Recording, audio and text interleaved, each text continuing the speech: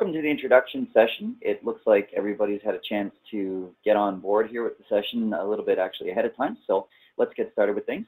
Um, we're going to be going through all the parts of the program and just having a look and seeing uh, some information as to what it's all about and what the program does. If you have any questions, the best thing to do is to type them into the program that's connecting us. If you don't get an answer today, then you'll get an answer through our support email uh, within the next business day or so, providing that it's not already the weekend at this point. So uh, let's get started. We're just going to start with the screen that you're seeing right here, which is called the business client section. Now we start here because there are some things that we're going to be looking at setting up in here that other parts of the program are very much based off of. So we're just going to do it to show the general order and flow of things. Um, the first thing we'll begin talking about is the fact that there are a few different note-taking locations that you can utilize while you're in this part of the program. So one of the ones you'll see here actually appears right away on the client's file.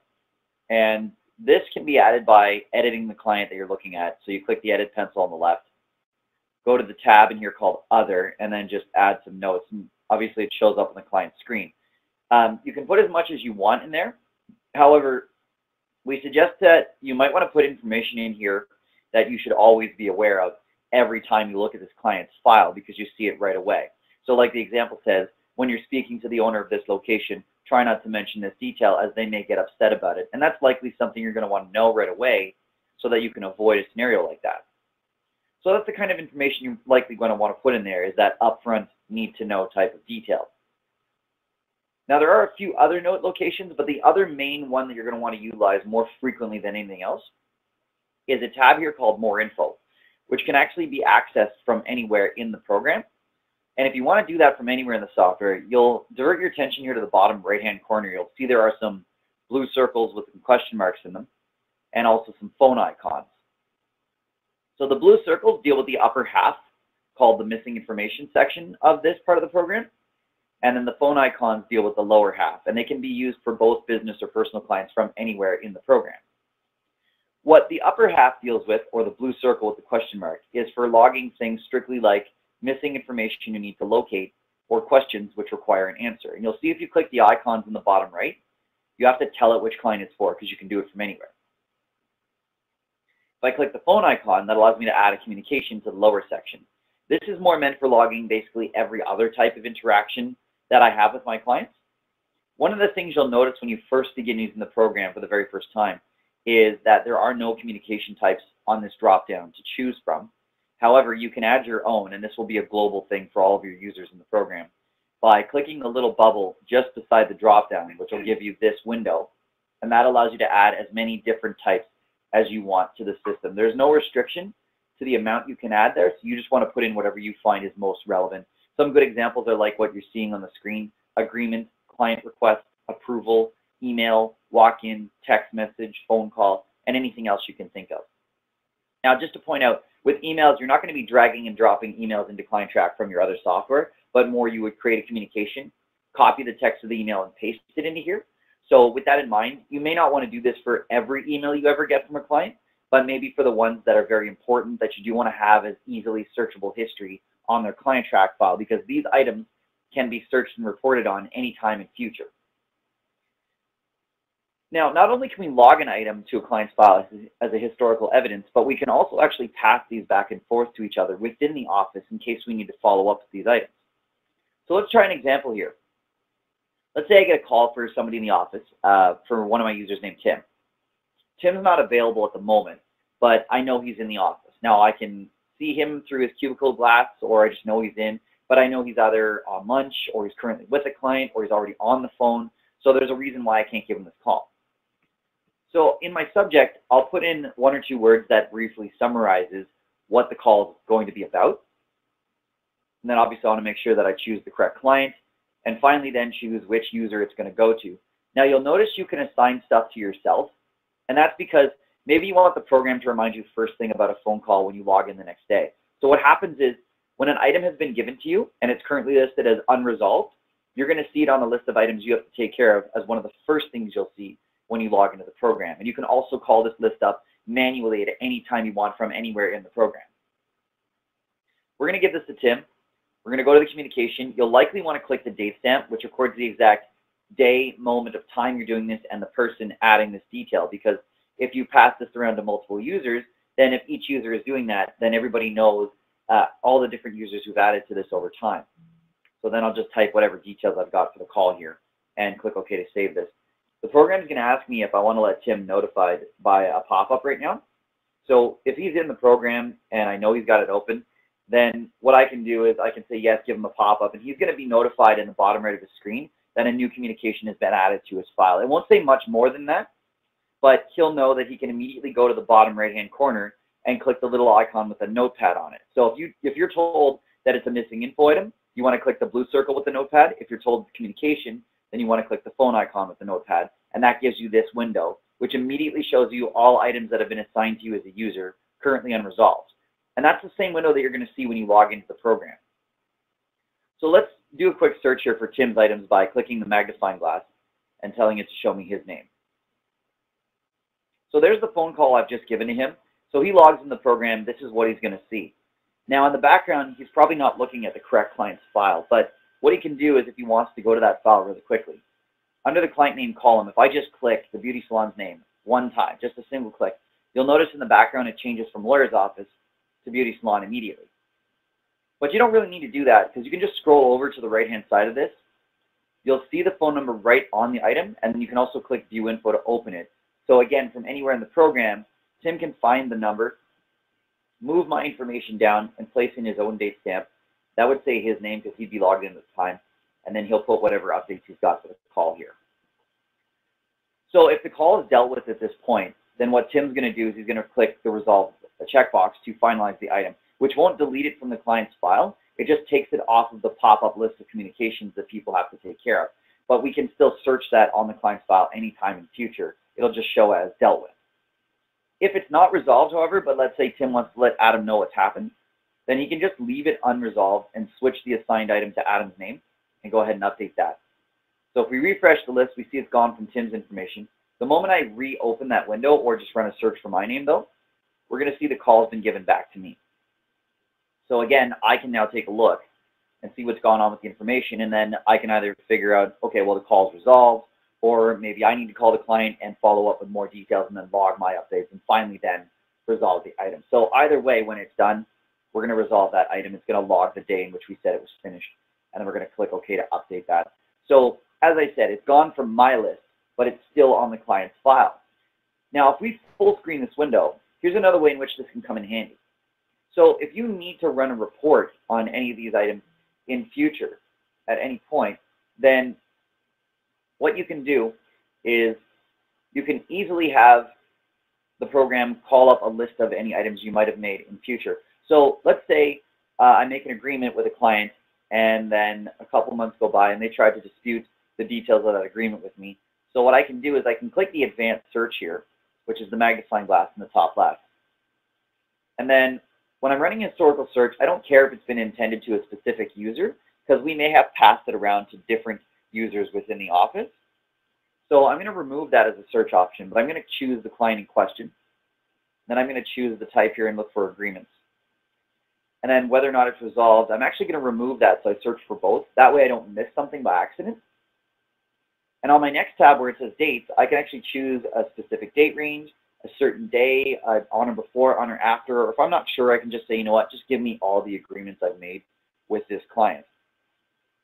So then once I select, yes, uh, I want to run the search by hitting select log entries in the bottom right, this is immediately a list of all the agreements I've made with that client very quickly. So immediately I can turn around and say to the client, well, here's what we logged in your file. This is the day we did it. This is the person who spoke with you.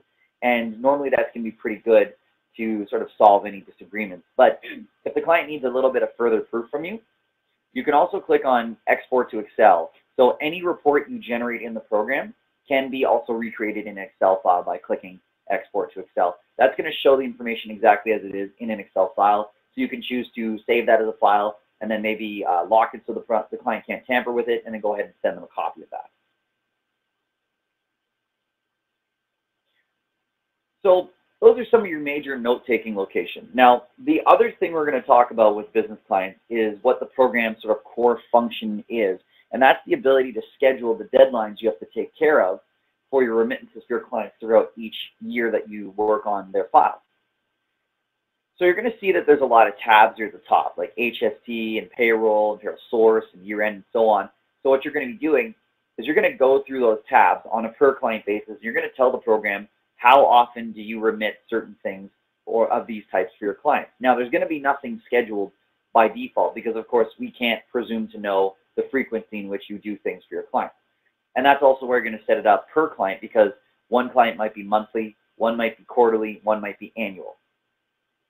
So you're going to see there's some options here on the left-hand side. And all you're going to have to do is just single click an option to say, this is what we do. And it'll schedule the entire year's worth of deadlines, regardless of where you are in the year. Because again, we can't also assume that the client has given you everything you need to complete things.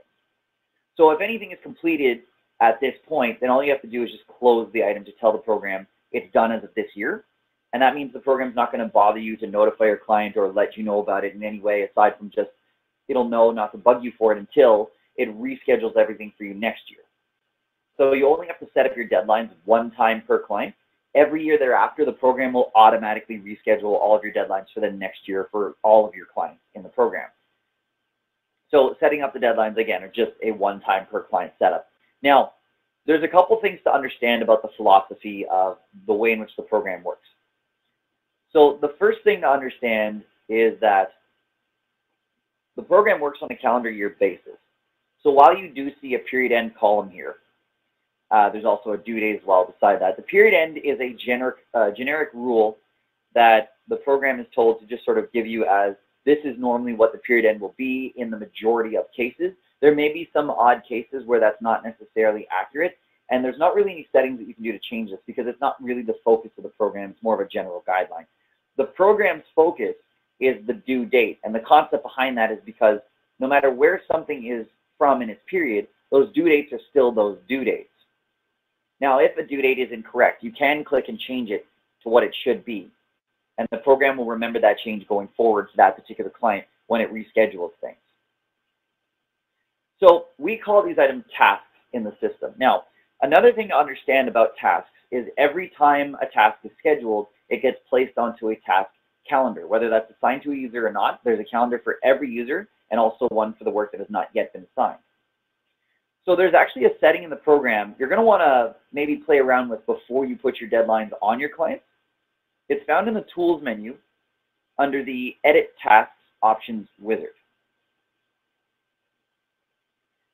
This window that comes up breaks down all of the different task types that are available in the system, including any customizable ones that you've created yourself in your office, because you can do that. This allows you to say as a global setting per task type, whenever this kind of task is scheduled to any client in the system and we put it on the calendar, first of all, how much time of the day do we want it to take up?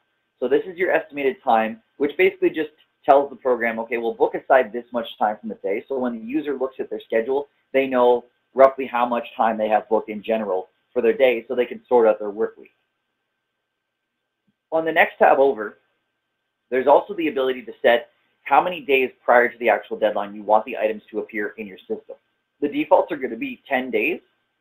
So what this does is it gives you a safety net to make sure that when you are looking at your schedule, you can understand that the items are not necessarily due on the days you're seeing them, but they are coming up soon. So that if you notice you have too many things assigned to you on a given day, you can feel free to move it around to another day of the week and be sure that it's not necessarily going to be moved past its deadline. So we look at your, your setting here as sort of like a first line of defense to making sure that you're not really missing your deadlines and you do have enough time to sort out your schedule so that you don't just walk in and have a day where you're overburdened with too much work. So now that you've got that in place and you say, okay, here's what we've got in terms of the frequency and you close off whatever you've completed, that of course tells the program this is what you're going to be doing for the client. Um, another thing you can choose to set up as sort of another line of defense is you see these notify checkboxes here on the right. If they're blank, it means you have not activated the notification system. This is something that is, is also set up on a per client basis. We're going to activate it by going back to the main client info tab. And on the right hand side, we're going to click on a button there labeled client options. In here, you're going to get a window that has a few different tabs. We're going to look at the one called auto notification. And you can choose to say which types you want to set up. It's not going to make you send out a notification for a task that isn't scheduled on the client's file, so it is fine if you select all. But here's the reason why you do it individually is because now you get to say how does the client prefer to be notified. So in this case, it's email, fax, letter, or phone call, and you're going to choose one of these options and click finish. Once that's done, you're going to get a little loading bar letting you know it's taking care of that. And finally, then we're going to see that the notify checkboxes are filled out. So after that's been set up, the very first thing that you're going to see then, and all users will see this before anything else when they log in, is the notification wizard.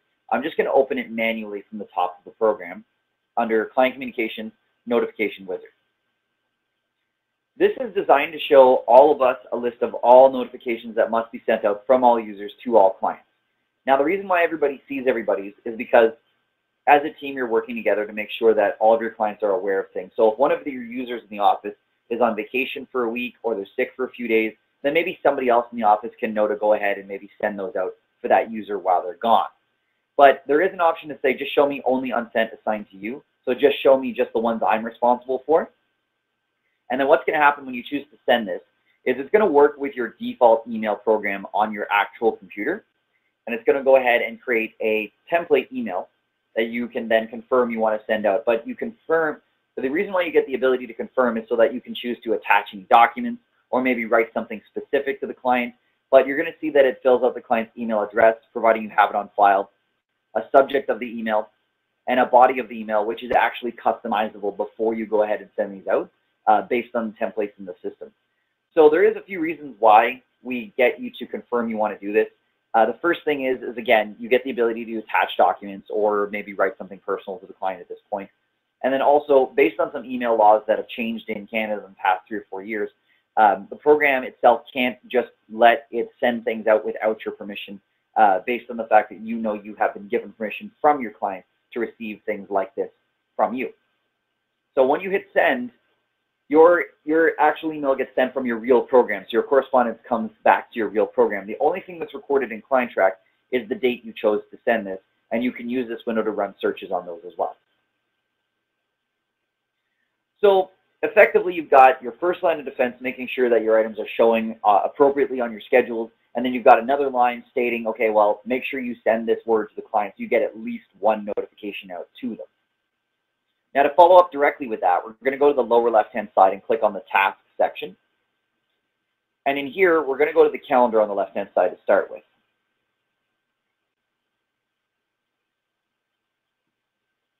So on the left-hand side, when we click on the calendar, it's going to show us our month view by default. The reason why we see the month view is that you get an idea of the total number of items assigned to you, and then the total estimated time for these items right away as well. So what's important about that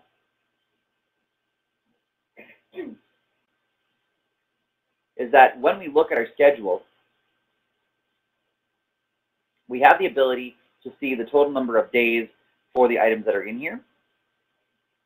And then we also have the ability to quickly know whether or not we might be overburdened at any one given time. So let's say we notice that there are 15 items assigned to us on the 20th. So we could click the day to see what's going on. And we know that these items aren't necessarily due on this day. And we're not even at the 20th yet. So we could actually click and drag the work from one day to another to sort out our schedule so that things will be manageable for us.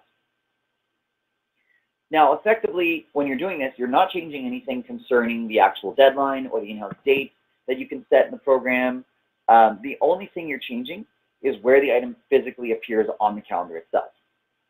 So with that in mind, as part of our final line of defense, which is the task list that allows me to run reports on any tasks that are coming up due from any time period, the default view will just be to show you simply what's due for the month you're in. But we can go to the top left, and in here we can click a square with a blue line in it that allows me to adjust the columns. Now this is done per user. You can remove whatever columns you don't care about, but add in the calendar date. So when we're looking at our list now, we can see which client it's for, what it is we're doing for them, where is it specifically on our calendar, and right beside that is the actual due date. So at all times we know how many days we actually have left to get this work completed. And further to that, if I click the first item here in the column, July 29th, it's going to bring me directly to the day that's assigned. So if I need to move that over to a different day, then the moment I move those items over to a different day and I go back to my list, without even having to hit refresh on the list, you see that the date has already updated in here. So that calendar date is always going to be accurately showing where the item exists on your calendar, providing you've moved it to a different day. Now you've also got your employee assigned. This is really the most common way that uh, admins will come in and run a report of what's due this month and then just start assigning items to the users that are available in the system. Uh, you also have an overall status to say, like, have you begun working on the task? Uh, are you on hold for whatever reason? Are you in progress? And then you've also got the ability to say, did you receive everything? And if you did, what was the day that you received everything? So that date gets recorded. From the day you said you got everything as well, you'll have a counter here for days in progress that counts how long you've been actively working on these files. And will keep counting until you close the item to show it's completed, at which point it'll change the status to also say it's completed. Now, another thing you can do in here as an added bonus, if you want to, and this is not something you have to do, but you can go to the view hide columns, and as an office, you can choose to use up to 25 customizable checkboxes, which will globally apply to all of the tasks, all users, all clients in your system as part of your task list. But they can be used as a generic workflow process to everything you do. So effectively, let's say you get together as an office and you realize that no matter what it is we're working on, there is a minimum of four things we must confirm we have done before we can ever close a task to say it's completed. So you all decide, okay, everybody add in the first four steps. Now only one of you needs to go to the define button at the bottom and then actually change the names of them. That'll change it for everybody in the office. And you can also choose to give the items colors so that when you close the step, the task actually changes to that color. So that's going to make your list look a lot more like this so that you can have colored progression so you can glance at this and kind of see how things are going. Now, if you want to run searches based on your items in here, uh, all you got to do is click the magnifying glass, and that's pretty much how all of your major reporting is going to do, is you're going to be in a list, you've got a magnifying glass, you specify the details of what it is you want to see. Also with these checkboxes, if you choose to use them, after you fill one out, if you click beside it in the same column area, it'll actually show you who completed it and on what day. And in your search, you can actually go to the last tab on the right and search by whether or not a specific checkbox has been filled out or not. So let's say we know that we've left at least one notification out to the client. Now, you run a report to say, show me everything that's due in the next two weeks. That does not have the first checkbox filled out. And you realize there is maybe um, one or two items that are due in the next six days. Nothing's really begun on the item. So you leave a voicemail for the client maybe send them another email a day or so after, but you also open a missing info ticket on their file to show you're missing something and you assign it to yourself or somebody else to take care of that. So another couple days go by, you run the same report again, you realize nothing still has begun on the client's file. Now it's getting a little bit more worrisome. So you call the client again, you log it again on the missing info item, more updates uh, to show the days and times in which you've called and left emails to inform the client that you need information, otherwise the item will not be completed on time. So the deadline passes, and finally the client's on the phone going, why is there a penalty? I thought maybe I hired your office to make sure this doesn't happen. It's going to be fairly simple for you to go, okay, well, we were looking at our reports here. We were well aware the item was coming up. We have it listed on your file. We've left voicemails and emails on these days and times to make you aware that we needed this information or we could not get it done. So effectively, you've got the ability to show the proof in your system, providing that you and your users are being diligent at logging these things, that you did your part so if there's any sort of onus as to who's responsible for paying any sort of remittance fees that are penalties, then the onus would fall more easily to the client's shoulders because you've got the ability to show that you did your part in your system. So you can see how if you don't start in your business client section and you put your deadlines in there first, that you will have nothing to utilize in your task list because there won't be anything to report on. And that's why we show you in that order.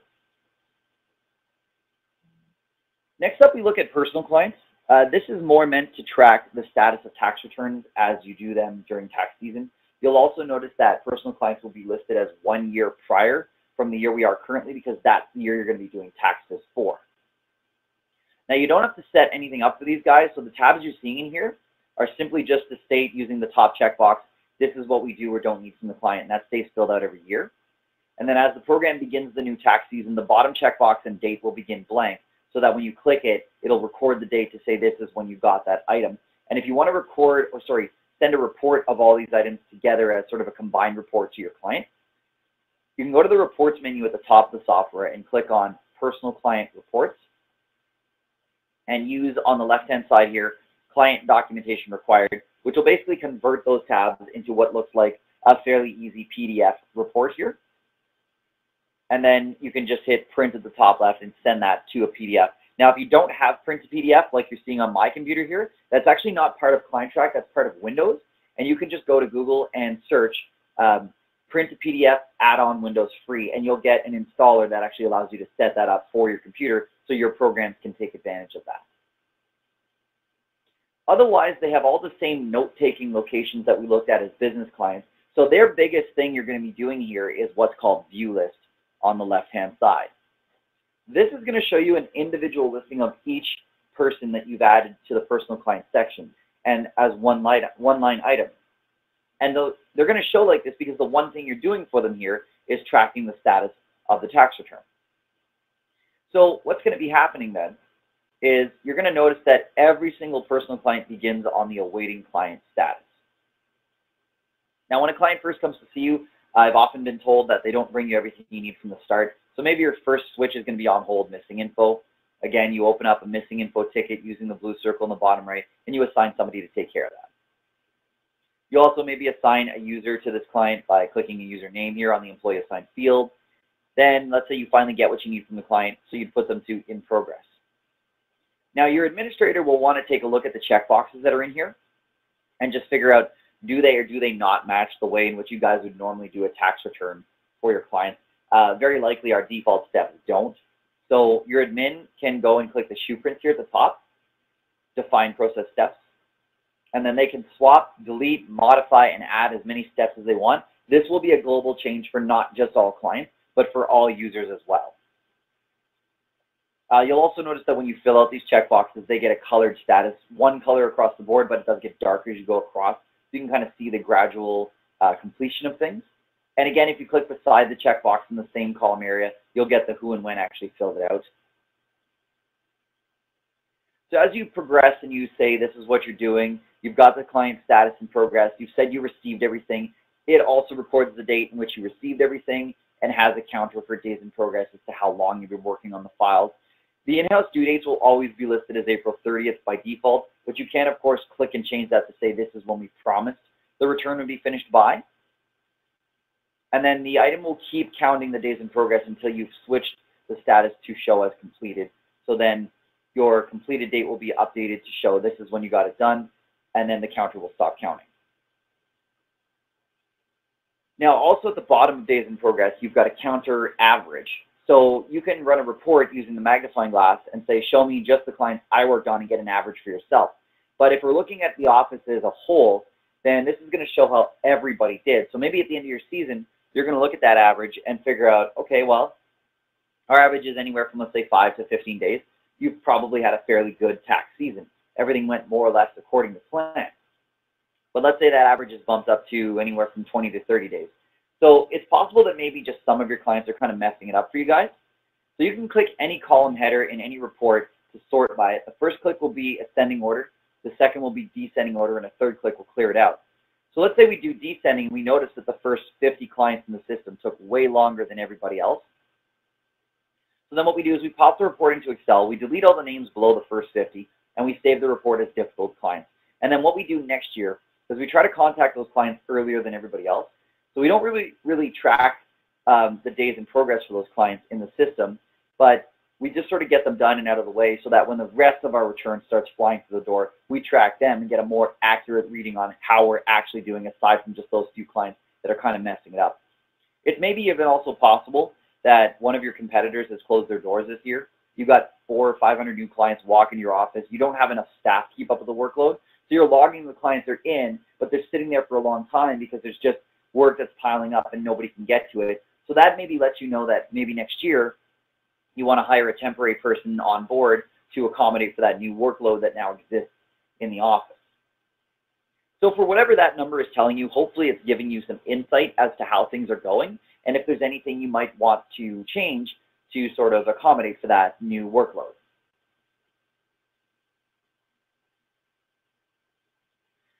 Next up, we look at time and billing. The time and billing section uh, at its core function allows you to record the time that you're working on for your items in the system.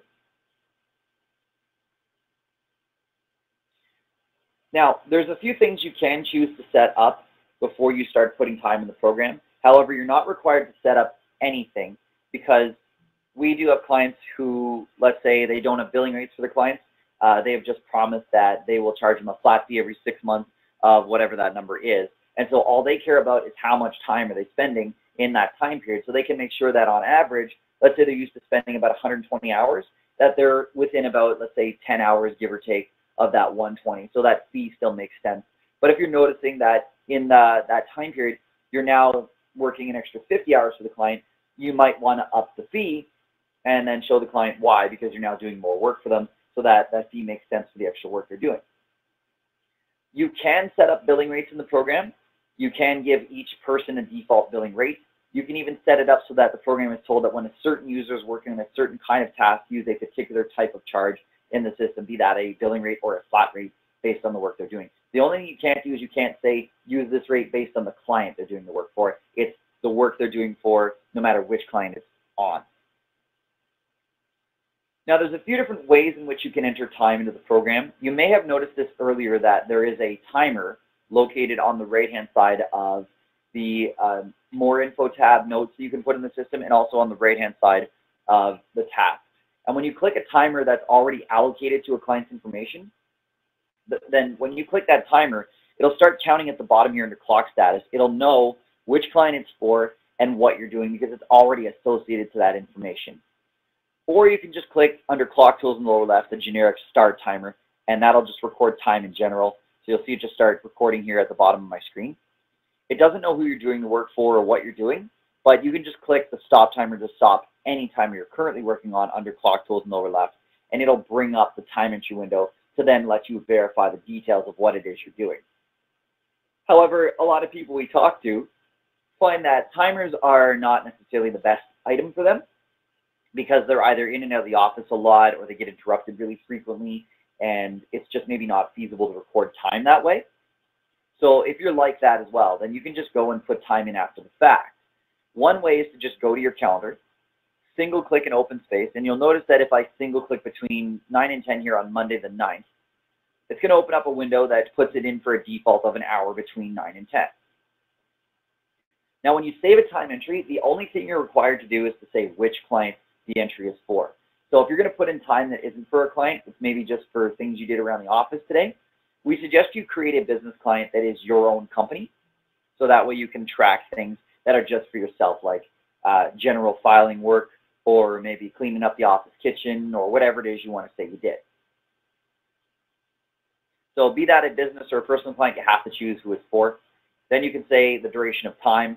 Um, if it's more than an hour, then we can just say, okay, an hour and 45 and then go ahead and update that. Or if it was less than an hour, then we can just modify the hour duration here and say it was 45 minutes. So you'll see that the time here will adjust accordingly. And then if it was just a favor we were doing for the client, you can simply just type in whatever the name is of the time entry you did. But if it was for an actual task you're working on, then you'll want to choose task type first. You can only choose from the tasks that are actually assigned to the client's file from business clients. And if it's something like monthly or quarterly, then task item allows you to say which month or quarter it was. Work codes and billing categories are 100% optional items in the system. What a work code lets you do is you can say um, that a work code is for a certain kind of work that has a description that encompasses that work you do in general. So what I mean by that is every item that we add to the system has a default description built onto it. And let's say I put in five different entries of the same type of work for the same client, and I go to create an invoice. I'm going to have five lines of the same description showing on the invoice, which is obviously not really relevant for me to show to the client. So let's say I create a work code that encompasses all of that work for HST. So I've got a work code called HST. It has a description that just summarizes all of that work I generally do.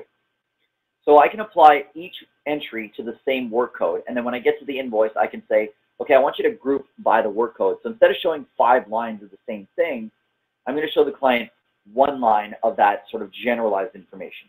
Now that's not the only way in which you can modify what shows in an invoice, but that is certainly one way in which you can do that. Uh, but again, they're optional. What a billing category lets me do is I can associate my time entries to internal categories that I can utilize for extra reporting options. So how this would work is I've got companies A, B, C, and D, and the work that I'm doing for these companies is different from all four of them. But in general, the work kind of overall applies to bookkeeping. So effectively what I'm going to do is I'm going to apply all of those time entries to bookkeeping. And then what I can do from the time list later on where I can run reports of the time in the system, I can say, show me everything that I've added to the program based on that category for whatever date range you want to see. So I can get a total of the time and charges of that style of work for whatever time period we're looking for. But again, a totally optional thing. Now the billing info tab is only for, for users in the system who have been given permission to see billing rates. An admin can say that a user that's been added to the program is not allowed to see billing rates. If they're not allowed to see billing rates, the only thing they're able to access in the time entry is to say what time or who it's for, the description, and who the billing is actually going to. So I could say I did the work for the beauty salon in the general tab, but then it's actually being billed to a bigger office in my system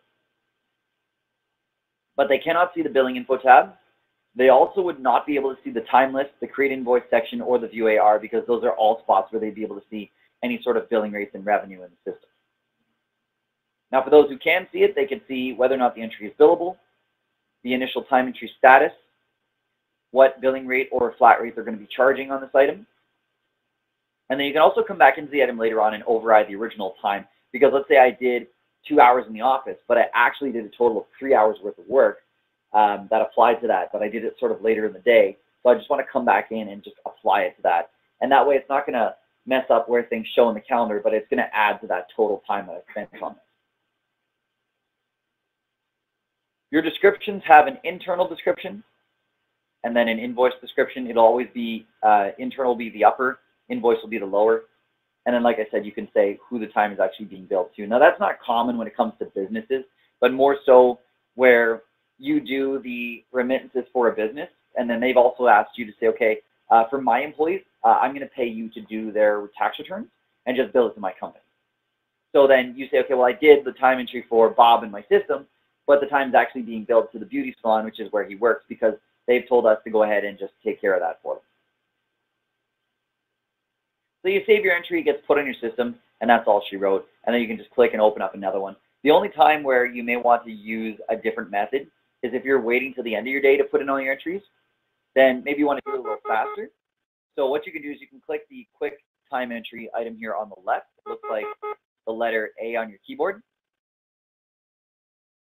This is going to give you a window that allows you to basically do the same thing, but the window doesn't need to open and close every time you add an item to the system. So you're going to say again which client it's for, what time of work you spent, what it was that you were doing, any sort of charges, inscriptions.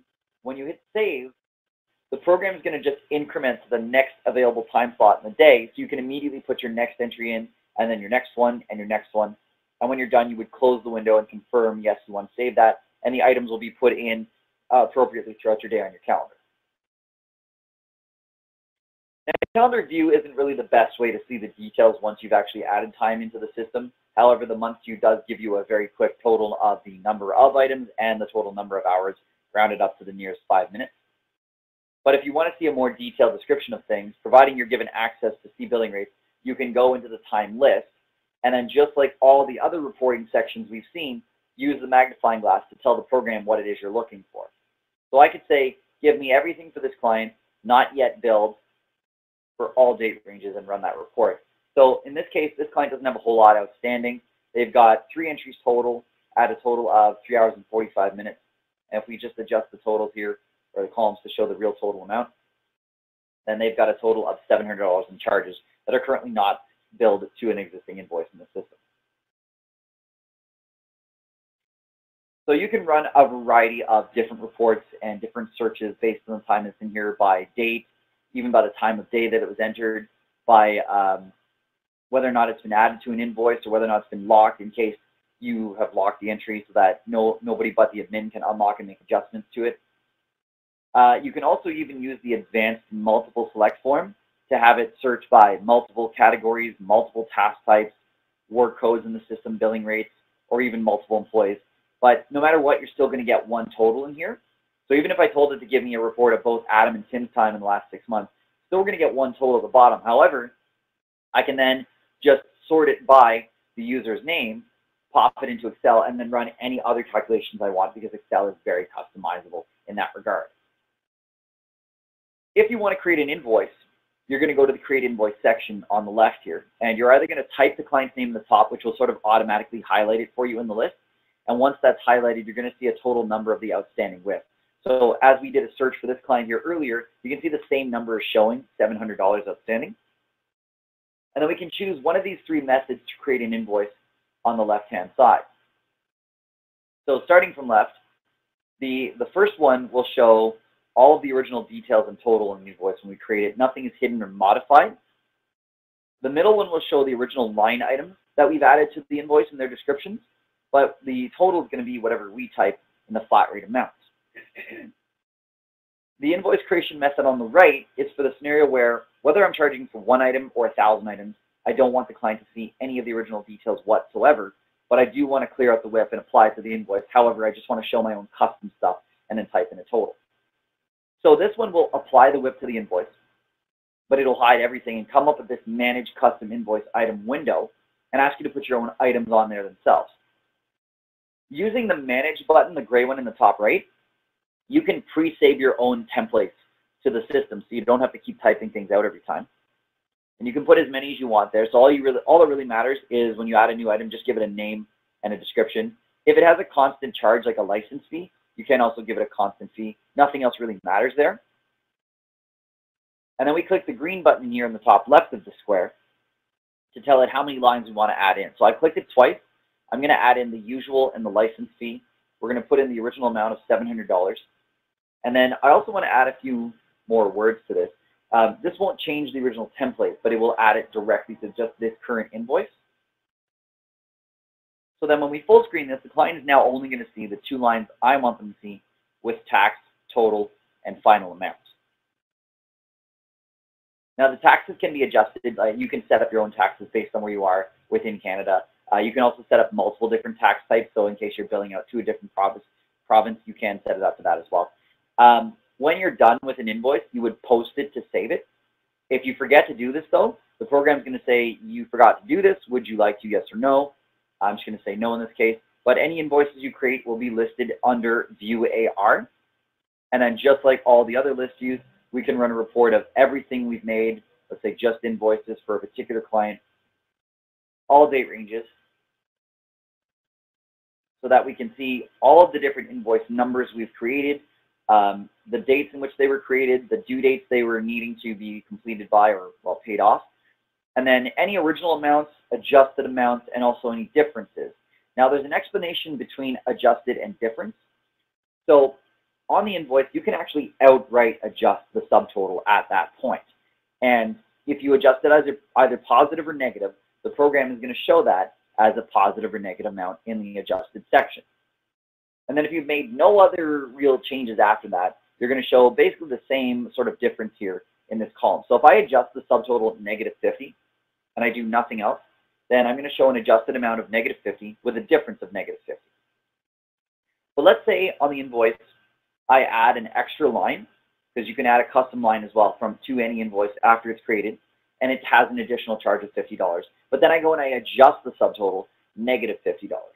So I'm going to see an adjustment of negative 50, but I'm going to see a difference of zero because from the original amount, the total is still the same. So the difference amount shows you at all times from the actual original total, did you gain or lose and by how much from that original amount? And then it will take the totals of all those positive and negatives and at the bottom show you overall then, did you gain or lose and by how much? You can then use the add payment button on the left to apply payments a client has given to you. So let's say this client has given us uh, $200. You can say what date you received it versus what date you actually put it in. And then on the next tab in here, we can, uh, we can then apply the entire amount to one existing invoice, or we can click the green button again to apply it to several. So let's say we give 100 to the older one, and then the remaining 100 to the newer one. So that uses up the deposit. That's going to refresh the list, and then we're going to see our new total amount here. So we've got an outstanding of 34,237.25. We have a total paid of 33,100. The client is vastly overdue, but they're not too far off with paying everything out at this point. Once an invoice is or paid off, the paid checkbox will be filled out.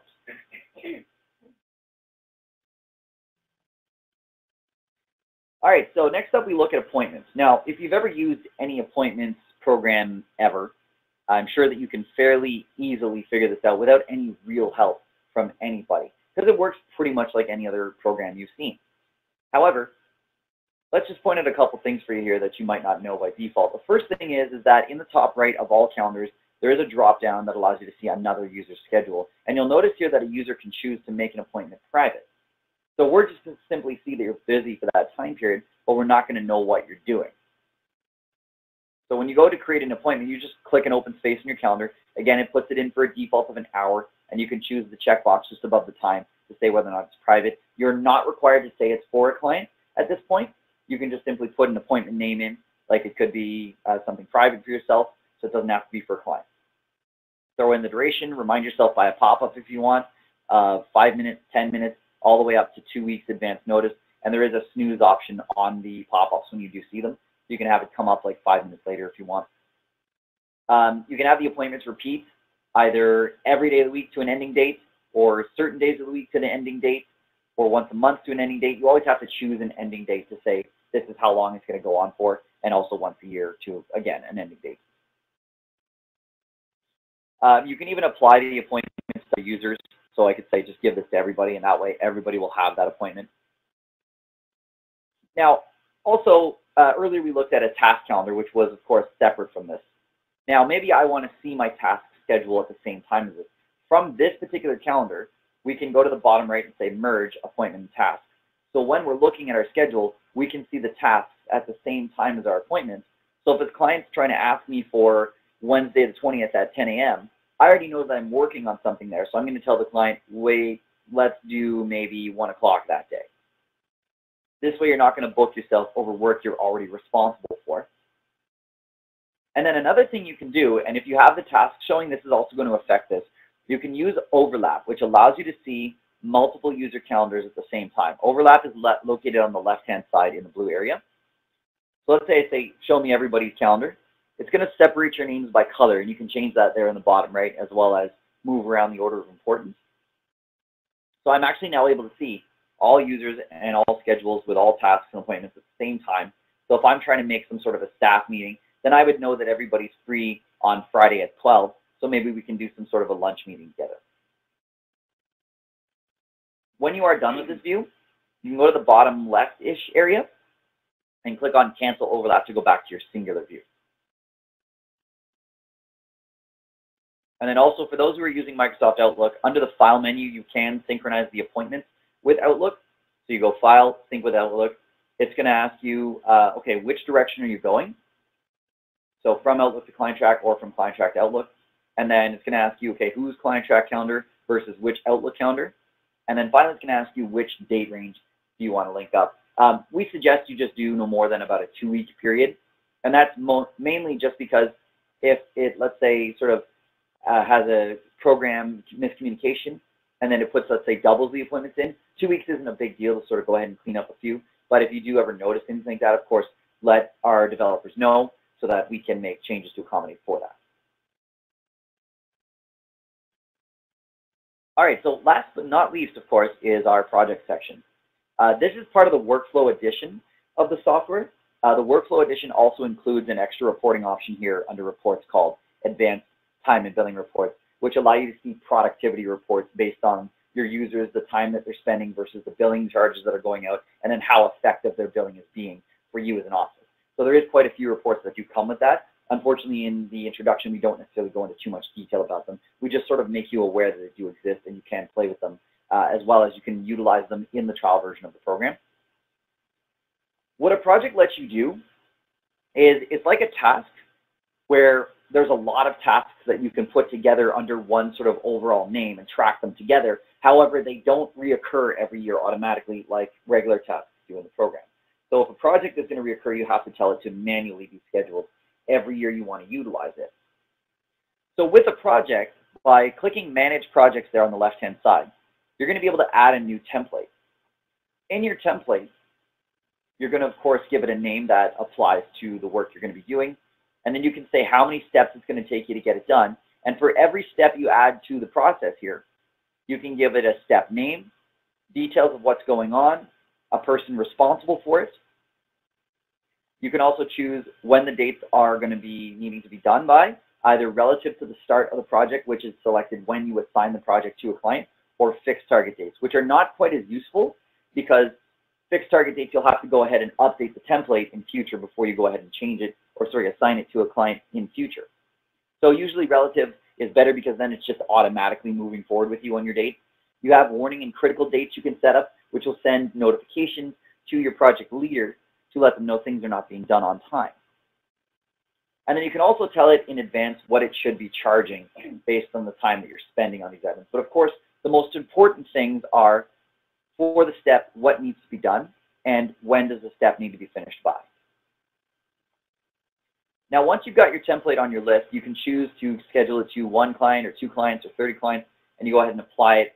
And it's going to ask you at this point, who's your project leader? When does it start? When does it end? Are you going to give it a budget, which will basically just split the total budget time amongst the steps that are part of the project? And also, you're going to give it a spending budget. Those are optional things. You don't have to do that. Uh, once that's done, of course, then you're going to see the project appear in the list. So much like a lot of the other list views, you can run searches on them. You're going to see the client is for, the project leader, project name, um, what the overall status is. So just like all the other lists, did you get everything? When did you get everything? How long are you working on it? And then if you want to see what steps have been done so far, you actually go to the top right and say, show me a specific project type, and then you'll see the breakdown of the steps here together. And as well as if you click beside the step in the same column area, you'll get the who and when actually did it, and if they left you any further details on that particular step. So if they want to do that, the steps will actually be appearing as part of your task list and your task calendar. And a user can go to the right-hand side of a task, click on View Info, and then actually leave a note directly in here on the item itself by going to the, the Notes tab. So if they left notes on a specific task or step as part of a, pro a project, then when you look at it from the project side of things as an admin, you'll see that note over here. Now, usually most users don't come in here. It's mostly for admins to look at the project section to make sure things are done on time.